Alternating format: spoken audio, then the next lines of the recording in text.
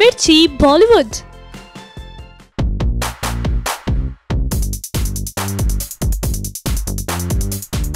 पिछले हफ़्ते जब ब्रॉडकास्ट ऑडियंस रिसर्च काउंसिल, यानी बार्क ने टीवी शोज़ की रेटिंग जारी की थी तो जी टीवी पर आने वाले शो कुमकुम भाग्य के टीआरपी ने सभी को चौंका दिया था।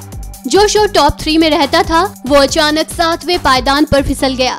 अब तो नौबत ऐसी आ गई है कि लोग इस शो को बंद करने तक की मांग करने लगे हैं। दरअसल दर्शक शो की कहानी में आए नए ट्विस्ट से खफा हैं।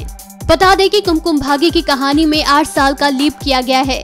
कहानी में आए बदलाव के मुताबिक शो के लीड एक्टर अभिषेक प्रेम मेहरा, यानी शब्बीर आहलूवालिया ने अपनी पत्नी प्रज्ञा, यानी श्रुति झा को छोड़कर एक्स गर्लफ्रेंड तनु से शादी कर ली है।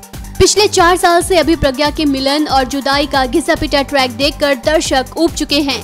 यही कारण है कि लोग इस शो को बंद कराने की मांग कर रहे हैं।